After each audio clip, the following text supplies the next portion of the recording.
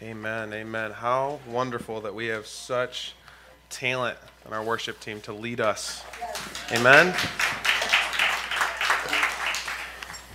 What a blessing.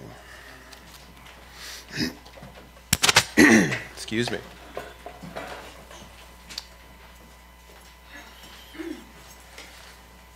Good morning, church family. I want to welcome everyone who's here in person in the room, as well as everyone who's watching online. Um, if you don't have a Bible, there are plenty of Bibles under the seats. feel free to help yourself to them. Um, if you don't have a Bible at home, um, feel free to take that Bible home. That Bible is yours. It's a free gift that we're offering you. Um, if you want to go ahead and turn in your Bible um, to the book of John, chapter 15. Um, we'll be continuing the sermon series, kind of where we're at with the I am. Uh, in the church Bibles, it's page 999. I wish that I had planned that, but I just filled in those numbers when I made the PowerPoint. And the good news is, it is those numbers. it's like that's that's the Holy Spirit at work. Um, but I want to thank everyone for being here. Um, some of you know it's Palm Sunday. Um, amen. Hosanna. But also, it's springtime. And I don't know about you. Um, is anyone in here a fan of spring? Any fans? Bam, bam, bam. Uh, fans of allergies that come in the spring? Ah, that's what I thought. That's where I, that's where I fall today. So my voice might crack a couple dozen times. Um, it's just tis the season to be in spring, I reckon. Uh, but also with spring, um, for those of you who don't know, um, not only am I the worship pastor, but I'm also the student pastor. Um, and so on Tuesdays, hang out with the youth and we go through some stuff. But with it being springtime and being a being the student pastor, uh, I thought it only appropriate to share a story from my high school youth days around something that famously happens in the springtime. Can anyone guess what it was? Prom. I know. when I that is that is me. That is me. I know, wow. So my high school I went to was smaller. Prom was for juniors and seniors. And uh, prom carried this huge weight of being the greatest night ever, right? You're in high school. Um, it's the first big, I guess, formal event that you would go to. As you can see, you rent a tux, uh, wear some flowers, and everything. So I was really excited. Uh, I was so just thrilled to go to this uh, greatest night ever. Being a high school boy, something that you can imagine, uh, I waited until the last minute to do everything for prom. Uh, the week of prom rolled around, and I, I, thankfully I wasn't the only one, but you bought your tickets for prom during the lunch period. And so the week of prom rolls around. I wait in line at lunch. We had a 45 minute lunch period. 40 minutes go by. Finally get my ticket. Five minutes left to scarf down my meal and head back to class. After I bought the prom ticket, um, I of course had to rent a tux, right? And little did I know there were three other proms happening that weekend in Monroe County. So two hours later at the tux store, finally got fitted for a tux, and finally was walking out with some measurements. Um, not just needing a tux, but you also need flowers, corsage. You got to have one of those in the boutonniere go to the flower shop, two hours there, waited, waited, waited, waited with a bunch of other moms and brave teenage boys like myself who were trying to get those flowers the week of. Um, so I had my tux, the tickets, flowers. Somehow, some way, I was elected in my friend group to order a limousine. We pulled some money together and we rented a limo. Now, this wasn't until I can't remember if it was Friday morning or Saturday during the day of prom. But either way, after calling around, three hours later, we finally got a, a limo rented. And we finally had that going. So we go to the house, we take pictures. Um, all week, waiting in line, waiting in line, waiting in line, building expectations for this greatest night ever. Each time I'm in line, I'm thinking, okay, it's cool. It's going to be fine. Like, I'm waiting in line now, but when I get to prom, it's going to be really great. It'll all be worth it at the end. By the time I get there, it'll be fun. We'll dance, have dinner, it'll be great. We finally get to prom, 40 minutes in line outside. So now my whole week has stood consisted of nothing but standing in line. We finally get into prom. We sit down at the tables, buffet style. Guess what? Another line. Now we're waiting in line just to get the food. Finally, dinner's done. We go to the dance floor. My date asked me to go get her a drink, and so I said yes because chivalry is not dead. Can I get an amen anyone? Amen. I go to the refreshment table. Turns out there was no punchline. Some of you will get that later on. Uh,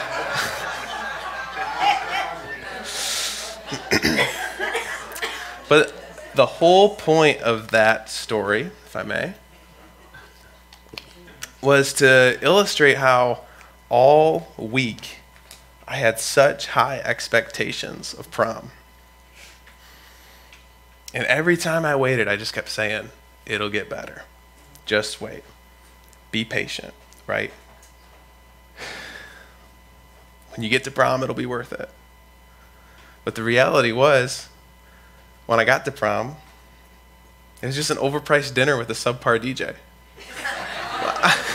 that's what that's what it was. Um, prom was not life changing. It wasn't the greatest night ever. Come Monday morning um, at school, everything was the same. I almost felt lied to. I thought prom was supposed to be life changing. Um, I changed my day to day that week in order to adjust for this for this end of the week outcome. Like I changed, I changed my life for that week, just to be let down. Can anyone else relate to that? Maybe not prom specifically, um, maybe, maybe prom. Um, but with another event, be spending a great amount of time and energy changing your day to day life, um, allocating all your free time into chasing an experience just to be let down. Just to, to go to bed that night thinking, no, that was a waste of time. Or, yeah, that was fun, but I got to go to work tomorrow morning.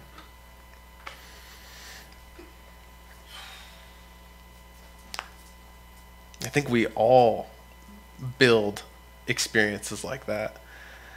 Um, and maybe you're thinking, I don't care about experiences, Pastor, so I'm good. Okay, maybe. Maybe it's not experiences, but I'm willing to bet it's still an ideal circumstance that you sometimes base your happiness on.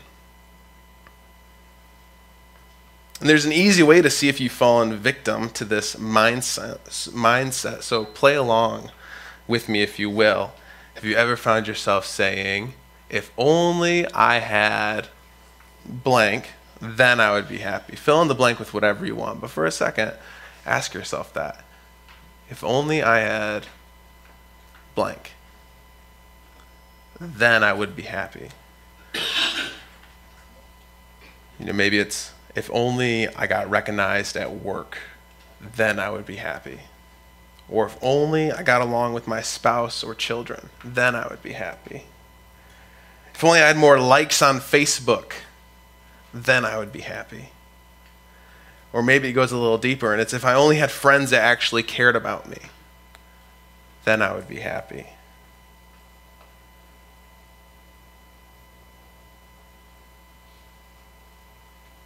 Maybe that specific statement you've never said. Maybe you're saying, I don't fall into that box, Pastor. But have you ever laid in bed at night and thought there's got to be more to life than this? I think that's a little bit more relatable.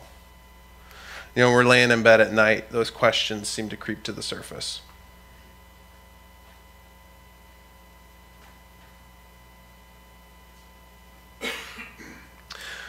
We have a deeper, more serious issue within us.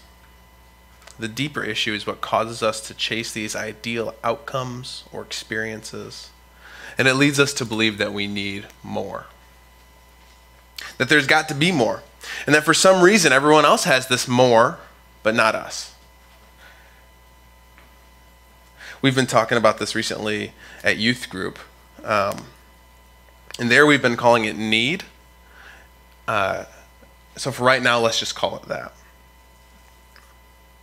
We have a need inside of us, and sometimes, again, sometimes it can be hard to recognize in ourselves. But with the youth group, we talked about the rich young ruler in Mark chapter 10.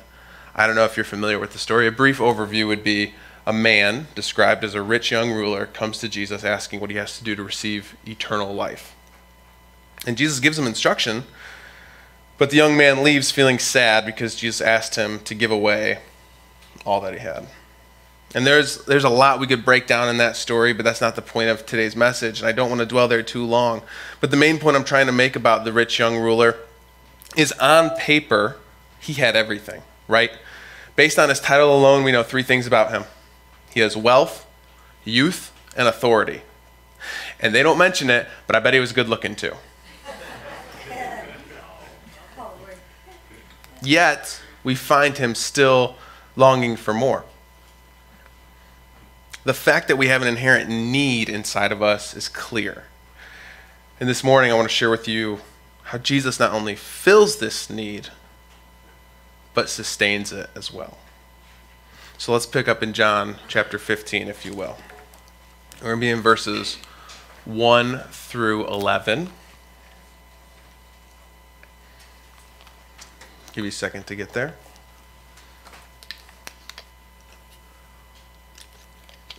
What am I saying? You're probably already there. I invited you to do it at the beginning.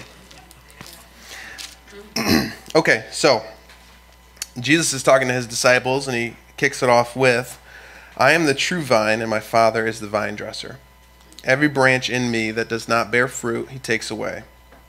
And every branch that does bear fruit, he prunes, that it may bear more fruit. Already you are clean because of the word that I have spoken to you. Abide in me, and I in you, as the branch cannot bear fruit by itself, unless it abides in the vine. Neither can you, unless you abide in me. I am the vine, you are the branches. Whoever abides in me, and I in him, he it is that bears much fruit. For apart from me, you can do nothing. If anyone does not abide in me, he is thrown away like a branch and withers, and the branches are gathered, thrown into the fire, and burned. If you abide in me, my words abide in you, ask whatever you wish, and it will be done for you. By this my Father is glorified that you bear much fruit, and so prove to be my disciples. As the Father has loved me, so have I loved you. Abide in my love. If you keep my commandments, you will abide in my love, just as I, I have kept my Father's commandments, and abide in his love. These things I have spoken to you, that my joy may be in you, and that your joy may be full.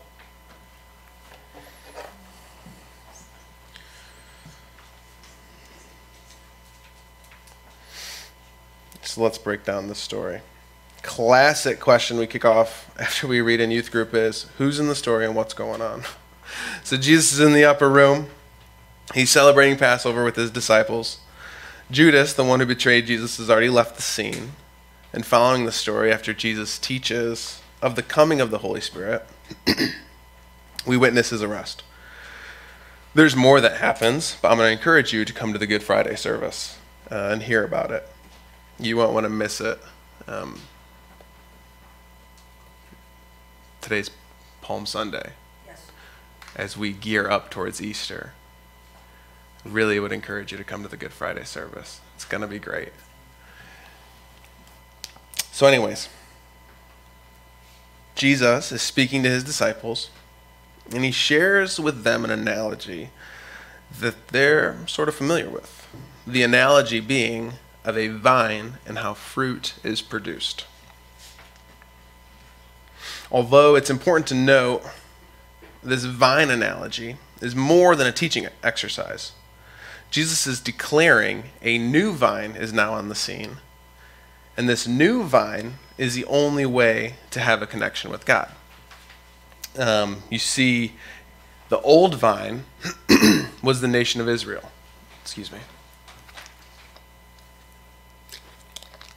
The Old Testament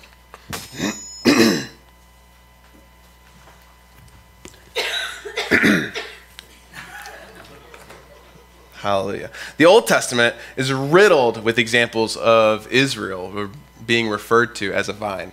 In Psalm 80, the psalmist says, You brought a vine out of Egypt. In Hosea chapter 10, Israel is referred to as a luxuriant vine. The connection to a, a vine in Israel was so prominent that in Herod's temple in Jerusalem, over the doors of the sanctuary, there was, there was a golden vine. Um, it was this beautiful, immaculate vine uh, decorating the wall, and people would even bring their own gold from their family to have it melted down to be added to the vine. This vine was like a, a coat of arms, if you will. And just like a coat of arms or a family crest, the nation of Israel had the mindset that if you were born into it, you were just set. Your connection to God was there. That was your connection to God. You're born in, you're connected. However, often it was forgotten that the idea of Israel being a vine was not without the idea of degeneration. The vine had run wild. The vine was not producing healthy or high quality fruit. Um, prophet Isaiah in chapter 5 says, What more was there to do for my vineyard that I have not done in it? When I looked for it to yield grapes, why did it yield wild grapes? This is God talking through Isaiah. Um, friends, understand the weight in Jesus' words when he declares he is the true vine. He's saying, I am the new connection to the Father. No longer was it just being born into a family of believers, but it was having a personal connection to Jesus. So the question arises how do we have a personal and living connection with Jesus? Well, Jesus tells us by abiding in him. And he's very straightforward, he's very clear. This is one of the clearest directions abide in me. No story, no, um, yeah, it's just very direct. Abide in me. And a few months ago, Pastor Matt shared what it means to abide. Uh, but just as a recap, abide means to accept or act in accordance with. Uh, Pastor Matt also shared that abide comes from the word abode, which is a place of residence, a house or a home. Jesus is is is therefore he, he's instructing us to abide in him. He's instructing us to make our home, home in him. Um, that's how we have a personal relationship with Jesus. We, we, we make our home in him. And not just personal, but a living connection to Jesus. Now, some of you might not know this, but the living aspect of the personal and living connection is very important. The personal aspect, the personal aspect's already there. Whether you've said yes or not, the personal aspect is there. Because the truth of the matter is, Jesus died for you in Romans, Paul writes, "But God showed his love for us that while we were still sinners, Christ died for us." Friends, I'm not much I'm not sure how much more personal it could get. He made it personal by going to the cross. We sang earlier about the about the cross and the glory of the cross. Jesus made it personal by dying for you. He was thinking of you specifically. He had you in mind. He wasn't just up there doing whatever. He was thinking of you individually. He made it personal.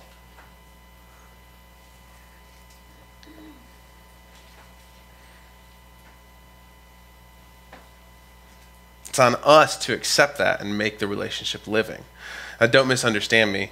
Um, Jesus is alive and well. Amen? Amen. Yes. Um, when I say living, I'm saying we have to make a choice each and every day to remain in a relationship with Him. How would it be if we only spent time with Him once a week for about an hour and 15 minutes?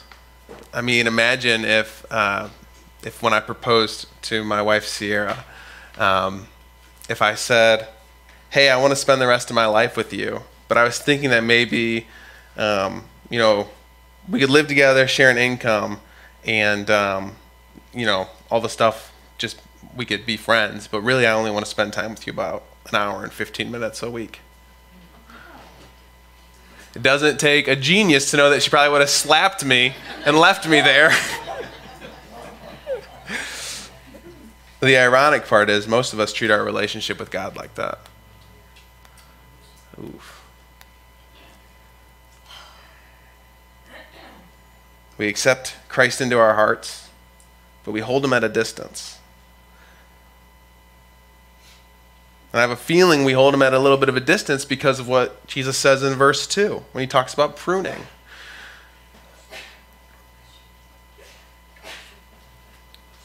Springtime allergies. Yep.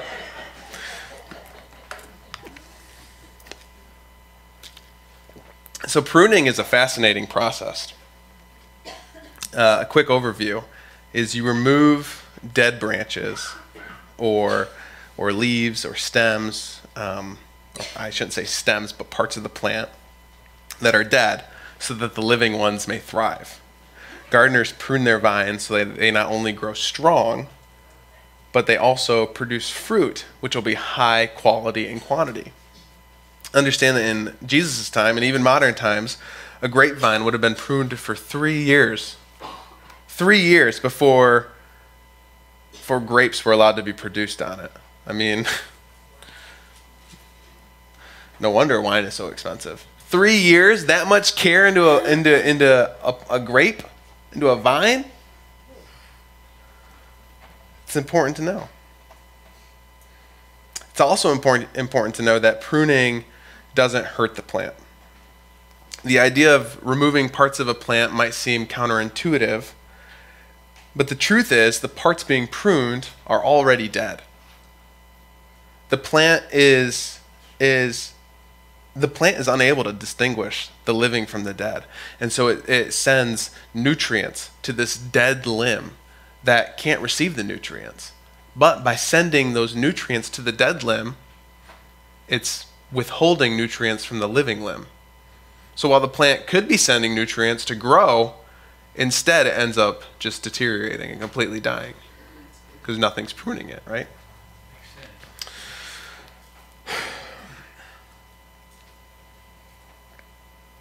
By not pruning the vine accordingly, the entire crop could die.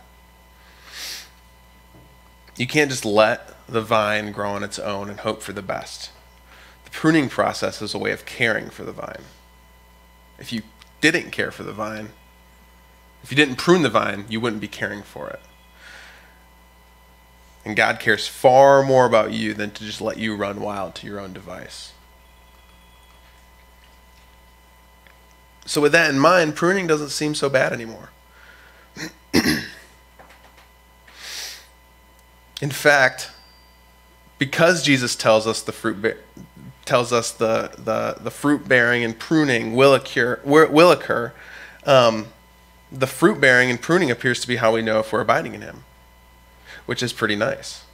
By bearing fruit and being pruned, we know we are fully abiding. Um, the fruit that Jesus is referring to can be found in Galatians chapter 5, verse 22 and 23. It's the fruit of the Spirit. Uh, many of you are familiar with this with this scripture. Uh, Paul writes, "But the fruit of the Spirit is love, joy, peace, patience, kindness, goodness, faithfulness, gentleness, self-control. Against such things there is no law." And Jesus tells us, by the fruit we produce, will also prove to be his disciples. In an earlier section of John, John st- Jesus states that by the way you love one another, the world will know we are his disciples.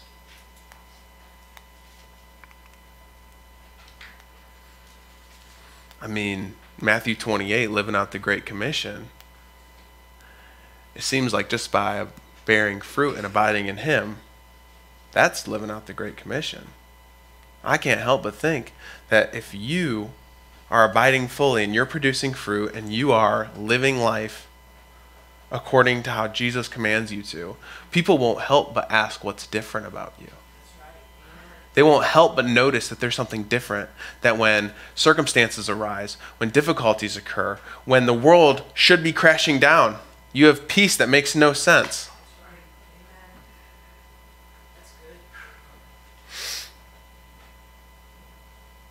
So what? Everyone, everyone ask that out loud. So what? Sometimes I need to be reminded, so what? So what? Um, remember that need we talked about at the beginning? Um, let's look at verse 11.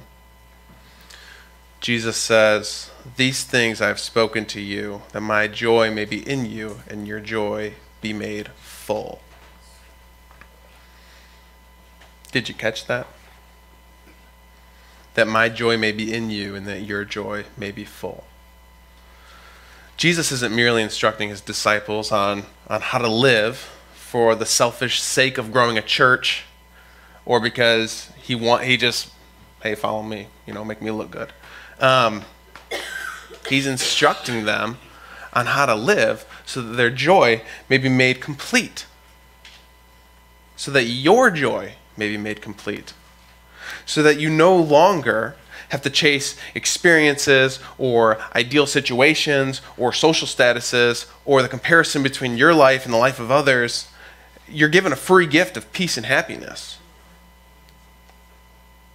And not just happiness, but life. Not just some overpriced dinner with a subpar DJ, but a life to the full. Don't get me wrong, hardships will come, but there's hope found in Christ Jesus. In Romans, Paul writes, For I consider that the sufferings of this present time are not worth comparing with the glory that is to be revealed to us.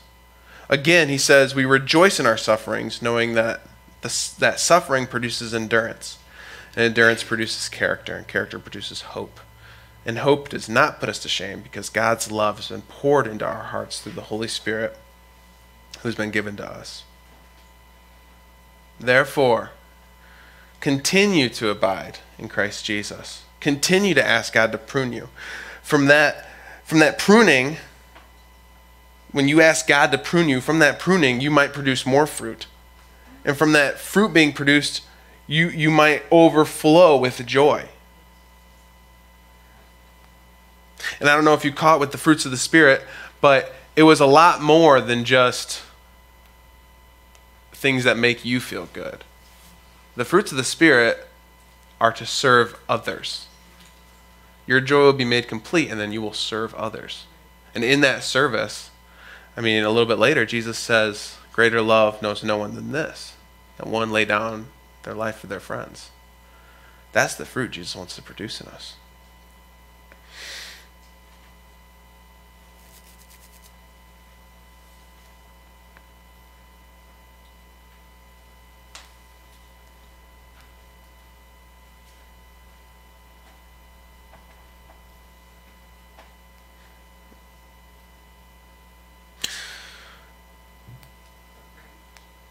A need right? This need that we talked about.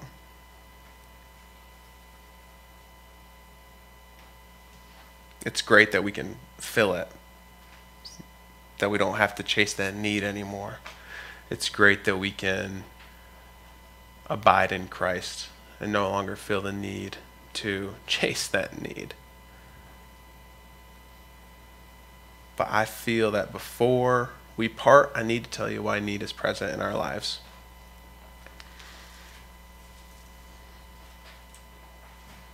See, we were made by a creator whose plan was to have a personal, face to face relationship with us. But that plan changed when we as humans decided that we knew better than God. Sin entered the world, and due to that, we fell under the consequence of sin. Sin, being an eternal separation from God, leads to nothing but suffering, leads to nothing but, but comparison, leads to nothing but pain and heartache and, and feeling empty. And I think the worst part about it, and you might agree with me, the worst part about it is there's nothing we can do to overcome that sin. There's nothing that we can do that'll ever lead to lasting and fulfilling joy. We are helplessly broken. But the good news is we're not hopeless. There is a way to overcome sin. We can't overcome it as humans, Romans says that there's a price to pay, and, and Paul makes it clear. The wage of sin is death. Someone has to die to satisfy this wage. Wage. What's wild is God knew that since we couldn't possibly pay this wage ourselves,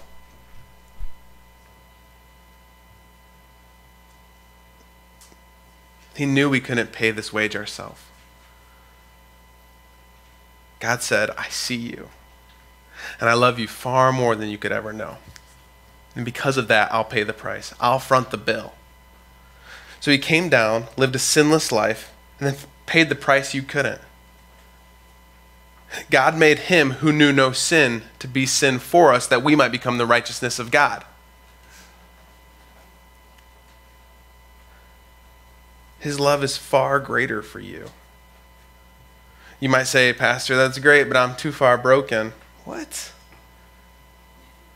No. You're, you're far too broken. He's far too great. Friends, abide in him. Let your joy be made complete. Say yes to him. Acknowledge your sinful nature. Repent of your ways. Believe Jesus is the Son of God and died for you personally. And confess your faith in him who saved you. Only by abiding in Jesus will your joy be made complete. Let's pray.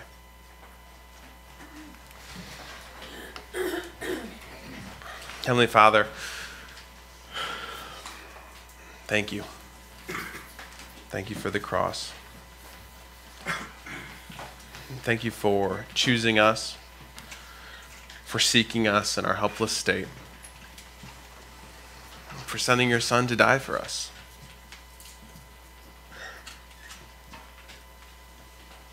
Jesus, thank you for loving us enough and teaching us to abide in you. And to abide in you that we don't just experience fruit, and that we don't just experience um, loving others, but that, but that our joy may be made complete. Father, draw us nearer to you. Remind us every day to be in connection with you, Lord. Hold us close to you, Father.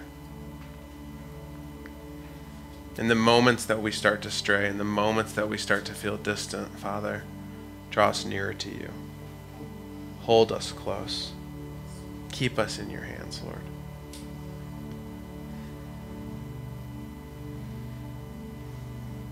Remind us that no matter what we've done, where we've been, who we've been, you're greater than that, Lord.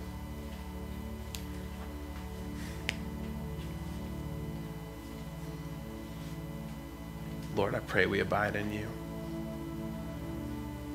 I pray that we remain steadfast in you. As you abide in us, Lord, let us abide in you.